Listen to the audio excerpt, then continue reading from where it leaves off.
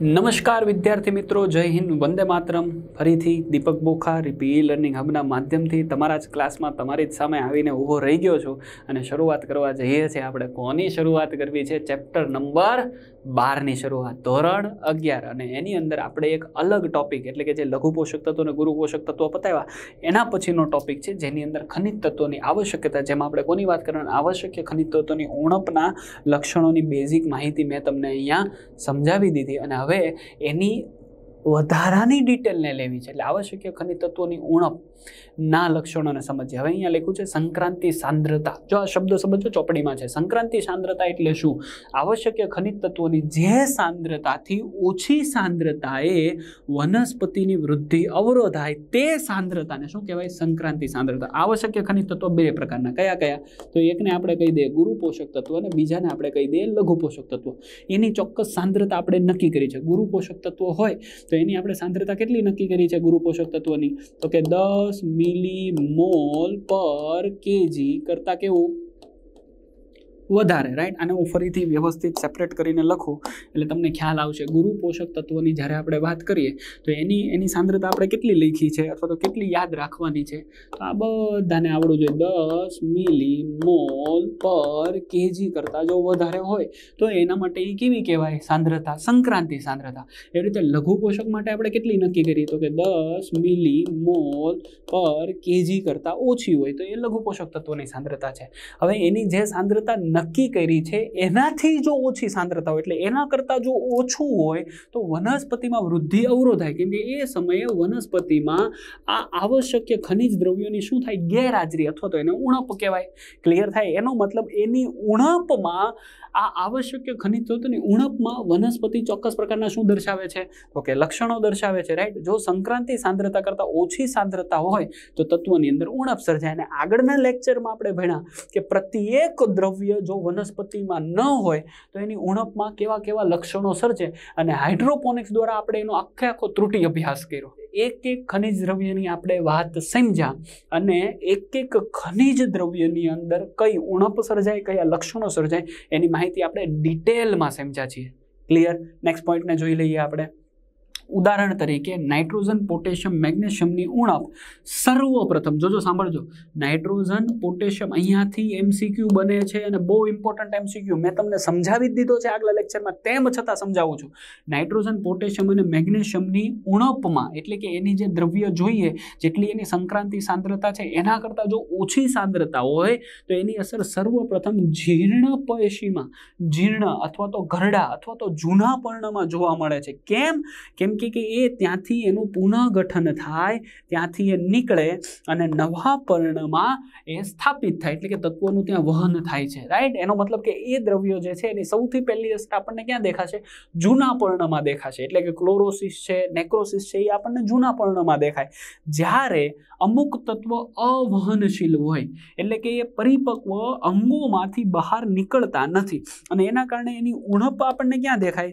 તરુણ પેશીમાં, નવા પેશીમાં પરોહાગ્ર અથવા મૂલાગ્ર અથવા તો કુંબળા પર્ણની અંદર જોવા મળે. ઉદાહરણ તરીકે બે શબ્દ લખી દીધા છે સલ્ફર અને કેલ્શિયમ. આ જ વાત હું તમને જ્યારે ખનિજ તત્વો વિશેની માહિતી આપતો હતો ગુરુપોષક અને લઘુપોષક ત્યારે પણ મેં તમને સમજાવેલી છે. ક્લિયર અને એક આખું ટેબલ ચાર્ટના સ્વરૂપમાં તમને મેં આપી દીધું છે. હાલો, સો ટકા ક્લિયર થાય એટલે કેવી રીતે ક્યાંથી પૂછાય એનું સંપૂર્ણ માહિતી આપણા દ્વારા તમને મળે છે. ક્લિયર અહીંયા સુધીની વાત. સો ટકા clear now the next point ફરીથી આપણે વાતને આખી લઈ લીધી. હવે અને આની સાથે તમે યાદ રાખજો, નાઇટ્રોજન, સલ્ફર અને molybdenum. Very very important right nitrogen, sulphur અને મોલિબ્લેડમની ઉણપમાં પુષ્પ સર્જનમાં પણ શું સર્જાય છે? વિલંબ સર્જાય છે. તો તમે જુઓ, એક બેઝિક માહિતી મેં તમને આપી દીધી. ક્લિયર અહીંયા સુધી. અને સંક્રાંતિ સાંદ્રતા એટલે શું? કદાચ આવો એમસીક્યુ પૂછે ઇવન બોર્ડમાં પણ પૂછે, તો તમને આવડવું જોઈએ. આના સિવાય એક બીજો ટોપિક છે, જેને આપણે કહીએ છીએ લઘુ પોષક તત્વોની વિશારિતતા very very fine and very very important topic તમને બધાને ખબર છે, અહીંયા લઘુ પોષક શબ્દ લેખો છે, ગુરુ પોષક નથી લેખો બીજું વિશારિતતાનો મતલબ થાય એની ઝેરી અસર. કયો શબ્દ થાય? વિશારિતતા એટલે ઝેરી અસર. ગુરુ પોષક તત્વ છે એની વિષારિતતા નથી, એટલે કે એની ઝેરી અસર નથી. મારી વાત બહુ ધ્યાનથી સમજજો. કેમ ગુરુ પોષક તત્વની ઝેરી અસર નથી? આવો સવાલ તમારા મનમાં આવશે જેમ હું આગળ ભણાવતો જાય છે એટલે એની પહેલાં જ હું ક્લિયર કરું છું. ગુરુ પોષક તત્વો already ten millimole per kg કરતાં વધારે પ્રમાણમાં હોય તો ગુરુ પોષક તત્વો કંઈ પણ એની લિમિટ નથી આપી. એનો મતલબ એ કેટલા પણ વધારે પ્રમાણમાં હોય એનો ઉપયોગ સતત થવાનો છે ને દેટ્સ વાય એટલા માટે ગુરુ પોષક તત્વ છે. એટલે એનું અધિક માત્રામાં પ્રમાણ વધશે તો આપણા શરીરને અરે સોરી વનસ્પતિના શરીરને કોઈ પણ નુકસાન નથી. આપણા શરીરની તો વાત જ અલગ છે. એને હ્યુમન ફિઝિયોમાં જોશું. અત્યારે આપણે વનસ્પતિની વાત કરીએ છીએ. ફરીથી સમજાવું છું, સમજી લેજો. ગુરુ પોષક તત્વ જે છે, વનસ્પતિની અંદર જશે ને એની માત્રા કરતાં એ અધિક માત્રામાં છે તો પણ વનસ્પતિનો ઉપયોગ કરશે. એ એને નુકસાન નહીં પહોંચાડે. પરંતુ લઘુ પોષક તત્વ જે છે, એની એક માત્રા આપણે નક્કી કરી દીધી છે કે ભાઈ આટલી જ માત્રા રિક્વાયરમેન્ટ છે. ટેન મિલી મોલ પર કેજી કરતાં ઓછી માત્રામાં. હવે જોઈએ એના કરતાં પણ અતિ ઓછી માત્રામાં હશે તો વનસ્પતિમાં ઉણપ સર્જાય. પણ એની જે માત્રા આપણે નક્કી કરી છે, એના કરતાં જો વધારે માત્રામાં હશે તો શું સર્જશે એની વિશારિતતા સર્જે એટલે અન્ય ચયાપચય પથની અંદર એ નુકસાન કરશે. એનો મતલબ વિશારિતતા છે, એ માત્ર ને માત્ર કોની હોય? લઘુ પોષક તત્વોની. વિશારિતતા કોની ન હોય? તો યાદ રાખવાનું છે, ગુરુ પોષક તત્વોની વિશારિતતા હોતી નથી. ચાલો, મારી વાત અહીંયા સુધી ક્લિયર થઈ ગઈ. હવે આપણે સમજીએ લઘુ પોષક તત્વની ન્યૂનતમ એટલે કે જેની સૌથી ઓછામાં ઓછી, સૌથી નીચામાં નીચે, ન્યૂ લઘુ પોષક તત્વની એક ચોક્કસ લિમિટ છે રાઈટ અહીંયાથી લઈને અહીંયા સુધીની. આ એની હાઈ લિમિટ છે, આ એની લો લિમિટ છે. રાઈટ હવે આ લો લિમિટ કરતાં પણ જો ઓછું હોય, તો વનસ્પતિમાં શું સર્જે? ઉણપ સર્જે. પરંતુ જેની લિમિટ હાઈ છે, એટલે ટેન મિલી મોલ પર કેજી કરતાં પણ ઓછું હોય, તો એની એક આ ચોક્કસ લિમિટ છે કે હવે એના કરતાં વધી જાય એટલે ટેન મિલી મોલ પર કેજી કરતાં વધી ગયું, તો એ સમયે વનસ્પતિમાં એ વિષારિતતાને પ્રેરે છે, એટલે કે વિષ વિષ એટલે ઝેરને પ્રેરે છે, એનો મતલબ અન્ય ચયાપચયિક પથને નુકસાન કરે છે, મારી વાત ક્લિયર થઈ ગઈ, સમજાય છે? અને આને આપણે એની શું કહીએ છીએ? તો કે સંકીર્ણ સાંદ્રતા, હમણાં જે પોઈન્ટ આપણે ઉપર ભણ્યા, એટલે કે સંક્રાંતિ સાંદ્રતા, તો આ એની એક ચોક્કસ પ્રકારની, સમજી લો કે સંક્રાંતિ સાંદ્રતા છે કે જે એની ઇનફ છે, જે એની વનસ્પતિને ગ્રો કરવા માટે મેક્સિમમ જરૂરી છે. આના કરતાં જો વધશે તો વિષારિતતા, આના કરતાં ઘટશે તો એને શું કહીશું? ઉણપ. પણ આ બંને સિમ્ટમ્સ તમને કેમાં દેખાય? તો કે લઘુ પોષક તત્વમાં. ગુરુ પોષક તત્વમાં જો વધશે, એટલે ગુરુ પોષક તત્વનું પ્રમાણ વધે, તો તમને ત્યાં વિષારિતતા દેખાતી નથી. એટલે ગુરુ પોષક તત્વ માટે ક્યારેય પણ શું ન હોય? વિષારિતતા તમને દેખાતી નથી. ચાલો ક્લિયર અહીંયા સુધી. હા કે ના? રાઈટ એટલા માટે લખ્યું છે લઘુ પોષક તત્વોની ન્યૂનતમ માત્રા હોય છે. જો તેના કરતાં ઘટે, એટલે આના કરતાં ઓછી માત્રા થઈ જાય, તો એની શું થઈ જાય છે? ઉણપ સર્જાય છે. અને જો એ માત્રામાં આના કરતાં વધારો થઈ જાય રાઈટ તો શું થઈ જાય? એની વિષારિતતા સર્જાય છે. ક્લિયર અહીંયા સુધી? હવે સાંદ્રતાના સંકીર્ણ વિસ્તારમાં ઈ તત્વ, મેં તમને હમણાં સમજાવ્યું ને, કે એની જે સાંદ્રતા છે એ સાંદ્રતા એ તત્વ કેવું હોય? અનુકૂળતમ હોય છે. જો એ પેશીના શુષ્ક દળમાં દસ ટકાનો ઘટાડો થઈ જાય, તો એની અસર કેવી થઈ જાય છે? વિષારી થઈ જાય છે. અને એટલા માટે આ વિષારિતતા હવે અલગ અલગ વનસ્પતિઓમાં એ તત્વોની વિષારિતતાના સ્તર કેવા હોય? ભિન્ન ભિન્ન હોય. એટલે કેવા હોય? અલગ અલગ હોય છે. ક્લિયર કોઈક વાર કોઈક એવું તત્વનું વધુ પ્રમાણ એટલે એની વિષારિતતાનું પ્રમાણ વધી જાય. જે બીજા તત્વોના જે આંતર વહનને શું કરે છે? અવરોધે અથવા તો એની ચયાપચય પ્રક્રિયાને શું કરે છે? અવરોધે છે. સર, આનું કોઈ ઉદાહરણ છે? હા, આપણી પાસે એક ઉદાહરણ પણ છે. ઉદાહરણ તરીકે મેંગેનીઝની વિષારિતતા મેંગેનીઝ કેવું દ્રવ્ય છે એ પહેલાં આપણને ખબર પડવી જોઈએ. લઘુ પોષક તત્વ છે. જેના કારણે પીળાશ પડતી શિરાઓ દ્વારા વાદળી કે જામણી રંગના શું પડે છે? ડાઘા પડે છે. જો, મેંગેનીઝ વખતે મેં તમને સમજાવ્યું હતું કે વાદળી રંગના અથવા તો જાંબલી રંગના શું થઈ જાય? ડાઘા પડવા. તો અહીંયા આવી ગઈ લાઈન ચોપડીમાં લખેલી એનસીઆરની લાઈન. તો અહીંયાથી ઉપાડીને મેં ત્યાં મૂકેલી છે. એવી રીતે બધી જ ખનિજ પોષક તત્વ, લઘુ અને ગુરુ બંનેની વાત મેં તમને સમજાવી છે. એટલે પહેલાં એ ક્યાં ક્યાં જરૂરી છે, ક્યાં બંધારણમાં જરૂરી છે, ક્યાંથી પ્રાપ્તિ થાય છે ને એની ત્રુટિજન્ય અસર. મેં આ રીતે આખું લીધેલું છે. ક્લિયર એટલે પીળાશ પડતી શિરાઓ દ્વારા વાદળી કે જાંબલી રંગના ડાઘા પડવા, એ મેંગેનીઝની શું છે? વિશારિતતા છે. પણ હકીકતમાં શું થાય છે? જુઓ. તો કે આયન તેમજ મેગ્નેશિયમ, એટલે બે નવા ગુરુ પોષક તત્વો આવ્યા. કોણ કોણ? આયન અને મેગ્નેશિયમ. એ મેંગેનીઝની સાથેનો પ્રવેશ અને ઉત્સેચક સાથે જોડાવા માટે. એટલે મેંગેનીઝની વધારે પ્રમાણના કારણે આયન અને મેગ્નેશિયમ એમની વચ્ચે કોમ્પિટિશન સર્જાણી. અને કોની સાથે જોડાવા માટે? ઉત્સેચક સાથે જોડાવા માટે. રાઈટ જ્યાં મેગ્નેશિયમ અને આયન એકબીજા સાથે સ્પર્ધા કરે છે, જેના કારણે મેંગેનીઝ જે છે એ પરોહાગ્રમાં કેલ્શિયમના શોષણને અવરોધે છે. હકીકતમાં પરોહાગ્રમાં કોની જરૂર હતી? કેલ્શિયમની. પણ કોમ્પિટિશન શું થાય? કેલ્શિયમ અને કોની કોની કોમ્પિટ અરે, આયન અને કોની કોમ્પિટિશન થાય? મેગ્નેશિયમની કોમ્પિટિશન થાય. જેના કારણે થઈને હકીકતમાં જે જગ્યા પર ઉત્સેચક જોડાવાનો હતો, એ ઉત્સેચકની સ્પર્ધાને કારણે થઈને જે કેલ્શિયમનું શોષણ થવાનું હતું, એ શોષણ અટકી ગયું. એના કારણે વૃદ્ધિ કુંઠિત થઈ ગઈ અને એના કારણે આપણને મેંગેનીઝની વિષારિતતાના કારણે આપણને નવી અસર દેખાણી. હવે હકીકતમાં જે અસર દેખાણી, કોના કારણે દેખાણી? તો કે પહેલી વસ્તુ છે, કેલ્શિયમ નહીં આવ્યું. કેમ કે કેલ્શિયમનું શોષણ અવરોધાણું બીજી વસ્તુ આયન અને મેગ્નેશિયમ વચ્ચે શું થઈ કે આયન અને મેગ્નેશિયમ વચ્ચે સ્પર્ધા થઈ ગઈ. કોની સાથે જોડાવા માટે? ઉત્સેચક સાથે જોડાવા માટે. એટલે હકીકતમાં જ્યાં આયન જોડાવાનું હતું, ત્યાં કોણ જોડાઈ ગયું? મેંગેનીઝ જોડાઈ ગયું. જેના કારણે થઈને કેલ્શિયમનું અવરોધન થઈ ગયું અને એના કારણે થઈને વૃદ્ધિ કુંઠિત થઈ ગઈ અને એના કારણે પીળાશ પડતી શીળાઓ વાદળી કે જાંબલી રંગની દેખાણી. તો હકીકતમાં દેખાણી મેગ્નેશિયમને કારણે.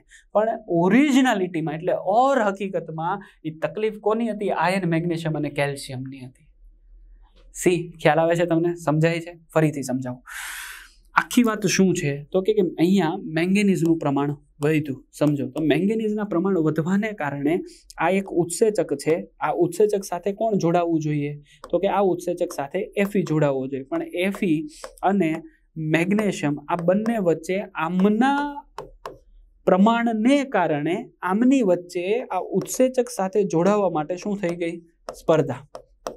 હવે હકીકતમાં જોડાવાનું કોણ હતું? તો કે આયરન જોડાવાનું હતું. હકીકતમાં કોણ જોડાવાનું હતું? તો કે આયરન જોડાવાનું હતું. આયરન જોડાય તો કેલ્શિયમના શોષણને લઈ લેતે. શોષણને કરી લેતે. પરંતુ આયનની જગ્યાએ કોણ જોડાણું? તો કે મેગ્નેશિયમ. હવે મેગ્નેશિયમને જોડાવાને કારણે કેલ્શિયમનું શોષણ કેવું થઈ ગયું? તો કે કેલ્શિયમનું જે શોષણ થવાનું હતું એ અટકી પડ્યું. હવે કેલ્શિયમનું શોષણ અટકવાને કારણે શું થઈ ગયું? વૃદ્ધિ કુંઠિત થઈ ગઈ. અને જે શિરાઓ છે, એની અંદર વાદળી અને જાંબલી રંગના ડાઘા દેખાણા. એનો મતલબ મેંગેનીઝને કારણે વાદળી અને જાંબલી રંગના ડાઘા દેખાણા, પણ હકીકતમાં ત્યાં મેગ્નેશિયમ, કેલ્શિયમ અને આયરનની પણ શું સર્જાણી? કમી સર્જાણી. ક્લિયર? જો આપણું સ્ટેટમેન્ટ દે છે, મેગ્નેશિયમની વિશારિતતાને કારણે આયન, મેગ્નેશિયમ અને કેલ્શિયમની પણ શું વર્તાણી? ઉણપ સર્જાય છે. આમ જે લક્ષણ આયન અને મેગ્નેશિયમની ઉણપમાં પ્રતીત થાય છે, તે ખરેખર લો, એટલે આયન, મેગ્નેશિયમ અને કેલ્શિયમની ઉણપથી જોવા મળે છે. એટલે તમે જુઓ, એક ખાલી લઘુ પોષક તત્વોની વિશારિતતાને કારણે વનસ્પતિના ચયાપચય પથમાં કેવડી મોટી અસર થાય છે. મારી વાત ક્લિયર થાય? સમજાય છે? હા કે ના? આગળ વાત કરીએ છીએ આપણે. અહીંયાથી આપણે નવો ટોપિક લઈએ છીએ. જો આ આખો ટોપિક હતો, એ તત્વોની લઘુપોષક તત્વોની વિશારિતતા ઉપર હતો. અને પહેલાંનો જે આપણે ટોપિક જોયો છે, એટલે આની પહેલાંનો જે આ ટોપિક જોયો, એ સંક્રાંતિ સાંદ્રતા સમજાવવા માટે કે ગુરુપોષક તત્વ અને લઘુ પોષક તત્વોની એક ચોક્કસ સાંદ્રતા છે, જેનું મૂલ્ય આપણે શુષ્ક દળમાંથી લીધેલું છે. એના કરતાં અપ્સ પણ જાય એના કરતાં ડાઉન જાય. જો એના કરતાં ડાઉન જાય તો શું સર્જાય? ઉણપ સર્જાય. ત્યાર પછી આપણે ક્યાં આવ્યા તો કે લઘુપોષક તત્વો ઉપર. તો કે લઘુ પોષક તત્વોની અંદર જો એના કરતાં નીચે જાય, એટલે સંક્રાંતિ સાંદ્રતા કરતાં નીચે જાય તો શું સર્જાની ઉણપ. અને જો વધે તો શું સર્જાય છે વિષારિતતા પણ. ગુરુ પોષક તત્વોમાં થતું નથી એ પણ મેં તમને સમજણપૂર્વક સમજાવી દીધું. ક્લિયર અને ચયાપચય પથમાં કઈ રીતે નુકસાન કરે છે એ પણ મેં તમને સમજાવી દીધું. હવે નવો ટોપિક છે. ઓલરેડી આપણે આ ટોપિકને ચેપ્ટર નંબર અગિયારમાં ભણી જ ગયા છીએ કે ભાઈ ખનિજ દ્રવ્યો વનસ્પતિમાં કઈ રીતે દાખલ થાય. રાઈટ પણ એને આપણે થોડુંક અહીંયા વધારે પ્રમાણમાં જોઈ લઈએ તો તત્વોના શોષણની ક્રિયાવિધિ. વનસ્પતિઓ દ્વારા તત્વોનું શોષણની ક્રિયાવિધિનો અભ્યાસ અલગ તારવેલા કોઈ કોષો, પેશીઓ કે અંગોમાં આપણે કરી શકીએ છીએ. પ્રથમ તબક્કામાં આયનોનું અપદ્રવ્ય પથ. જો તમને બંને પથ ખબર છે, અપદ્રવ્ય અને સંદ્રવ્ય પથ. દ્વારા કોષોમાં મુક્ત કે બાહ્ય અવકાશમાંથી ઝડપી અંતઃગ્રહણ થાય. એટલે કે એ વહન કેવું છે? નિષ્ક્રિય વહન છે. So there is no use of ATP કેમ કે એ કંઈ આ બાહ્ય અવકાશમાંથી એટલે અહીંયા કોષોની અંદર નથી જતું. કોષોના બહારના ભાગમાં, આંતરકોષીય અવકાશમાંથી અથવા તો એ કોષ દિવાલના મારફતે વહન કરી શકે. એટલા માટે ત્યાં અપદ્રવ્ય પથ લખ્યું છે, જે માટે આયન માર્ગ, ચેનલ પારપટલ પ્રોટીન જે પસંદગીશીલ છિદ્રો તરીકે વર્તે છે. હવે તમને બધાને ખબર છે કે અહીંયા આયન લખ્યું છે. અને આયન જે છે, એ પાણી ન કહેવાય. એટલે ત્યાં આશ્રુતિ શબ્દ નહીં લાગે. એનો મતલબ મારી પાસે આ એક કોષ હોય, આ બીજો કોષ હોય અને એ કોષ મારફતે ધારો કે એક એક આ જે આંતરકોષીય ભાગ છે, એમાંથી વહન થઈને એ બીજા કોઈ કોષમાં એન્ટર થવા જાય છે, તો આ જ્યારે એન્ટર થવાની પ્રક્રિયા હોય, તો એનું જે આ કોષ રસ સ્તર છે, એમાં ચોક્કસ પ્રકારના અંતર્ગત પ્રોટીન હોય. અને આ જે પ્રોટીન છે, એ પસંદગીશીલ છિદ્ર તરીકે વર્તે અને એને સંકેન્દ્રણ ઢાળ અનુસાર, કેમ કે અહીંયા નિષ્ક્રિય વહન લખ્યું છે, એટલે સંકેન્દ્રણ ઢાળ અનુસાર પોતાના વધારે માત્રાથી પોતાની ઓછી માત્રામાં દાખલ કરે છે. ચાલો મારી વાત ક્લિયર થાય. બીજા તબક્કામાં આયનોનું કોષોમાં આંતરિક અવકાશમાં, એટલે કોષોની અંદરથી, એટલે પહેલું કયું હતું? તો આને આપણે કહી દઈએ અપદ્રવ્ય. હવે કેવું કહેવાનું? કોષોમાંથી જાય. તો એને હું કહી દઈશું સંદ્રવ્ય. રાઈટ વહન થાય છે, પરંતુ આ વહન કેવું હોય તો કે ધીમું, જે સંદ્રવ્ય પથ છે અને એમાં સક્રિય વહન થાય. એમાં પ્રોટીન ભાગ લે, પણ એ સમયે પ્રોટીનને આપણે પંપ કહીશું અને સક્રિય વહન થાય એટલે there is a use of ATP કહીશું. હા કે ના? જેમાં ચયાપચય ઉર્જાના દ્રવ્યના પ્રવેશ અને નિકાલ માટે જરૂરી છે, એટલે કે એટીપીનો ઉપયોગ એટલે તમે જો અહીંયા પણ તત્વોને અનુલક્ષીને સંદ્રવ્ય અને અપદ્રવ્ય ભણ્યા આપણે. આગળ વાત કરી દઈએ, અને આ શબ્દને તત્વોને અનુલક્ષીને છે. એટલા માટે ત્યાં શબ્દને ફ્લક્સ કીધું છે. ફ્લક્સ એટલે વહન. ફ્લક્સ એટલે શું કહેવાય? વહન. રાઈટ બે પ્રકારના ફ્લક્સ હોય. કોષોની અંદર જો વહન થાય, તો ઇનફ્લક્સ અને કોષોમાંથી દ્રવ્ય બહાર જાય, તો ઈ ઈ ફોર એક્ઝિટ. આના ઉપરથી શબ્દ લીધો છે આપણે. રાઈટ એટલે ઈ ફ્લક્સ. ઇન ફ્લક્સ એટલે કોષોની અંદર, એટલે સમજી લો ફરીથી સમજાવું. આ કોષમાં પ્રોટીન મારફતે, આ પ્રોટીન મારફતે દ્રવ્યનું અંદર વહન થયું તો ઇનફ્લક્સ અને કોષમાંથી દ્રવ્યનું પ્રોટીન મારફતે બહાર વહન થયું. આને કહી દઈએ આપણે પ્રોટીન. તો એને આપણે કહીએ છીએ efflux. E for exit. Clear?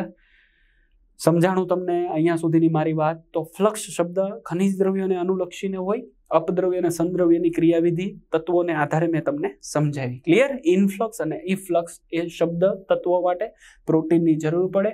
જો અપદ્રવ્ય હોય તો નિષ્ક્રિય વહન થાય અને સંદ્રવ્ય હોય તો સક્રિય. પરંતુ કેવું છે? ધીમું છે. ક્લિયર ચાલો હા કે ના? હવે આપણે દ્રવ્યોના પદાર્થનું, એટલે દ્રાવ્ય પદાર્થનું સ્થળાંતરની વાત કરીએ, એટલે ખનિજ દ્રવ્યોમાંના ઘણા દ્રવ્ય આયન સ્વરૂપે જે આવી રહ્યા છે, એમાંના મોટા ભાગના પાણીમાં જો દ્રાવ્ય હોય, તો એ કઈ રીતે વહન પામે? તો ખનિજ ક્ષારો જલવાહકના માધ્યમથી પાણીમાં ઉદ્ધવ પ્રવાહ, એટલે કે મૂળથી ક્યાં જાય? તો કે પર્ણ તરફ જાય. ક્લિયર સાથે વહન પામે જેના માટે બાષ્પોત્સર્જનથી સર્જાતું ખેંચાણ બળ જવાબદાર છે. બોલો, મેં તમને આખું બાષ્પોત્સર્જન દ્વારા ખેંચાણ બળ સમજાવ્યું છે. પાણી પાણી પાણી. આખી પ્રક્રિયાને યાદ કરો. જેના દ્વારા જલવાહકનો એક આખો સ્તંભ મૂળથી પર્ણ સુધી બને. તો એ જલવાહકની સાથે સાથે કોણ ઉપર જાય છે? ખનિજ દ્રવ્ય, દ્રાવ્ય ખનિજ દ્રવ્યો પણ શું થઈ જાય છે? એમાં આગળ વધે છે. ઉપર જાય. ખનિજ ક્ષારોની હાજરીમાં, હાજરી જાણવા જલવાહક રસનું વિશ્લેષણ કરી શકાય. વેરી વેરી ઇમ્પોર્ટન્ટ રાઈટ એનો મતલબ શું? વનસ્પતિમાંથી હું એક આડછેદ લઈ લઉં, એના પ્રકાંડને કાપું એના પ્રકાંડની અંદરથી જલવાહક જે છે, એ જલવાહકના પાણીને હું બહાર કાઢું. તો એ પાણીનું જ્યારે વિશ્લેષણ કરું એટલે એની હું ટેસ્ટિંગ કરું, તો મને ખબર પડશે પાણીની અંદર કયા કયા ખનિજ દ્રવ્ય એમાં છે અને કયા કયા ખનિજ દ્રવ્યની હાજરી એ પાણીની અંદર એટલે કે જલવાહકમાં કયા કયા ખનિજ દ્રવ્યો છે એની માહિતી મને મળી જશે. વેરી વેરી ઇમ્પોર્ટન્ટ એટલે આ લાઈનને તો હું આમ જો આમ સ્ટાર કરી દઉં અથવા તો એક બોક્સ બનાવી દઉં કે હું ખનિજ સારોની હાજરી જાણવા માટે જલવાહક રસનું શું કરી શકું? વિશ્લેષણ. એટલે એનો પ્રયોગ કરીને જાણી શકું કયા કયા પ્રકારના ખનિજ દ્રવ્યો એમાં છે. રાઈટ રેડિયો એક્ટિવ સંસ્થાનિકની મદદથી પણ પ્રમાણિત કરી શકાય છે. વેરી વેરી ઇમ્પોર્ટન્ટ એટલે હું શું કરીશ? કે ભાઈ કોઈ માધ્યમ બનાવી દઈશ ખનિજ દ્રવ્યોવાળું, જેમાં કોઈ રેડિયો એક્ટિવ દ્રવ્યને હું નાખી નાખી દઈશ. તો આ રેડિયો એક્ટિવ દ્રવ્ય જલવાહક દ્વારા ઉપર ચડશે અને પછી જલવાહકને હું કટ કરીશ. અને એમાંથી જે જલવાહકનું પ્રવાહી છે, એ પ્રવાહીનું વિશ્લેષણ કરીશ. તો મને ખબર પડશે કે રેડિયો એક્ટિવ દ્રવ્ય કઈ કઈ જગ્યા પર કેવી રીતે વહન પામે છે, જેના કારણે વહનની દિશા હું નક્કી કરી શકીશ. ખનિજ દ્રવ્યો કયા ચયાપચય પથમાં ભાગ લે છે, કેવી રીતનું કામ કરે છે. અકાર્બનિકમાંથી કાર્બનિક દ્રવ્ય કયું બન્યું એવરી સ્ટડી હું અહીંયા કરી શકીશ. અને અહીંયા હું તમને એક ખાલી બારમા ચેપ્ટરને સ્ટોપ કરીને ખાલી એક નાનકડો અમથો પ્રયોગ સમજાવું. રાઈટ સી થ્રી ચક્રની શરૂઆત જેમણે કરેલી, મેલ્વિન કેલ્વિને, એમણે પણ રેડિયો એક્ટિવ સંસ્થાની કાર્બનનો ઉપયોગ કર્યો હતો. ક્લોરેલા એ જે એક કોશી લીલ છે, એની અંદર સી પથને સમજવા માટે, એટલે રેડિયો એક્ટિવ દ્રવ્યની સ્ટ્રેસ, એટલે રેડિયોએક્ટિવ દ્રવ્ય કેવી રીતે ગયું, કેવી રીતે એનું સ્થાપન થયું, કેવી રીતે ગ્લુકોઝ ગયું, એનો આખો પથ એમણે આના દ્વારા શોધેલો છે. એટલે એનો ઉપયોગ કરીને આપણે પ્રમાણિત કરી શકીએ છીએ. ક્લિયર અહીંયા સુધીની મારી વાત, તો આ તરત દ્રાવ્ય પદાર્થનું સ્થળાંતર કોની અંદર જલભાગ પેશીમાં કેવી રીતે થાય, કેવી રીતે ઉદ્ધવ માર્ગમાં છે એની વાત મેં તમને સમજાવી. હવે આપણે આગળ વાત કરીએ છીએ ભૂમિમાં આવશ્યક તત્વોના સંચય સ્થાન તરીકે. તો ભૂમિ જે છે, એમાંથી જ આપણને કોણ મળે છે? આવશ્યક ખનિજ દ્રવ્ય ગુરુ પોષક હોય તો ભલે લઘુ પોષક હોય તો ભલે. અત્યારના સમયમાં ભારતની અંદર કોઈ પણ ખૂણામાં જાઓ, ખેતી થાય ખેતી થાય ક્યાં બાપ? તો કે જમીનમાં થાય. અને જમીનમાંથી વનસ્પતિને મળે શું? તો કે પાણી. પાણી વધતા કોણ મળે? ખનિજ દ્રવ્ય. એટલે ખનિજ દ્રવ્ય જે છે, ભૂમિની અંદર હોય સંચય સ્થાન તરીકે. ક્લિયર તો કે ખનિજ દ્રવ્ય વનસ્પતિની વૃદ્ધિ અને વિકાસ માટે ઉપયોગી છે. જેનો સ્ત્રોત ખડકોનું ક્ષારણ. તમને બધાને ખબર છે, ખડકોનું ક્ષારણ હોય, નદી કસાતી જાય કસાતી જાય કસાતી જાય, ખડકોને તોડતી જાય, નાના નાના કણો બનાવતી જાય, કાંપ બનતો જાય, નદીમાં જતો જાય, બે બાજુ ઢોળાતો જાય, કાંપ હોય બે બાજુ જમીનમાં નાખતો જાય અને એના કારણે શું બને? ફળદ્રુપ મેદાન બને ને એ મેદાનમાં સર્વપ્રથમ આદિ માનવમાંથી જે માનવ બન્યા, એણે ખેતીની શરૂઆત કરી હશે. બસ આની જ વાત કરીએ છીએ, કાંપાળા મેદાન બેના ઘણા બધા ફળદ્રુપ મેદાન બેના કે જેની અંદર ખેતી થાય છે, કે જે ફળદ્રુપ મેદાન છે, એ ખનિજનું શું છે? સંચય સ્થાન છે. એટલે મેદાન ખનિજનું સંચય છે, જમીન જેથી ભૂમિ જે છે, એ દ્રાવ્ય, આયન અને અકાર્બનિક ક્ષારોથી કેવી બની ગઈ છે? સમૃદ્ધ બની ગઈ છે. આ ઉપરાંત ભૂમિમાં શું થઈ જાય? નાઇટ્રોજનનું સ્થાપન. હવે આ નાઇટ્રોજનનું સ્થાપન કરવા માટે જીવાણુ અને સૂક્ષ્મ જીવોનું પણ સંરક્ષણ થાય. એટલે ભૂમિની અંદર નાઇટ્રોજનનું સ્થાપન. આ નાઇટ્રોજનનું સ્થાપન કરવા માટે એમાં જીવાણુ, સૂક્ષ્મ જીવો પણ હોય. એનો મતલબ ભૂમિની અંદર માત્ર વનસ્પતિ નથી રહેતી, એની અંદર જીવાણુ અને સૂક્ષ્મ જીવો પણ રહે છે કે જે એક યા બીજા પ્રકારે વનસ્પતિ માટે ઇમ્પોર્ટન્ટ હોય છે. પ્લસ પાણીનો સંગ્રહ થાય અને જે ભૂમિના, જમીનના જે કણો છે, એમની વચ્ચે રહેતી માઇક્રો સ્પેસ જગ્યા જે છે, એના દ્વારા એને હવાની પ્રાપ્યતા પણ થઈ જાય. ક્વેશ્ચન બને કે ભૂમિની અંદરથી શું શું મળે? નાઇટ્રોજનનું સ્થાપન, જીવાણુ સૂક્ષ્મજીવનું સંરક્ષણ, પાણીનો સંગ્રહ અને હવાની પ્રાપ્યતા પણ થાય છે. ચાલો ક્લિયર થાય? તેમ છતાં ખેતીની દ્રષ્ટિએ જમીનની ગુણવત્તા સાચવવી ખૂબ જરૂરી છે. કેમ કે આજના સમયમાં ક્યાંક ને ક્યાંક ખેડૂત અનાયાસે રાસાયણિક ખેતી તરફ વળ્યો છે. જેના કારણે જમીનની ગુણવત્તા આપણે ગુમાવી રહ્યા છીએ. રાઈટ તો જૈવિક ખેતી કરવી, સજીવ ખેતી કરવી એક નવો વિકલ્પ છે. હાઇડ્રોપોનિક્સ એક નવો વિકલ્પ છે. ક્લિયર ગુણવત્તા સાચવવી જરૂરી છે. ખનિજ દ્રવ્યોનું પ્રમાણ જાળવવું જરૂરી છે. રાઈટ જમીનની એસિડિકતા એસિડિક છે બેઝિક છે, કેવા પ્રકારનો પાક લઈએ છીએ, એના માટે કેવા પ્રકારનું ખાતર જોશે, કેવા પ્રકારના દ્રવ્યો જોશે.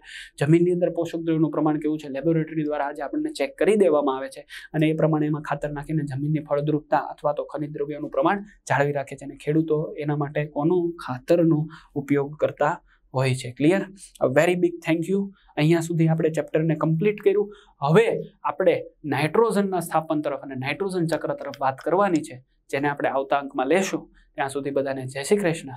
રાઈટ કાલે વહેલા વહેલા ક્લાસરૂમમાં મળજો. ચાલો બાય જય હિન્દ. વંદે માતરમ.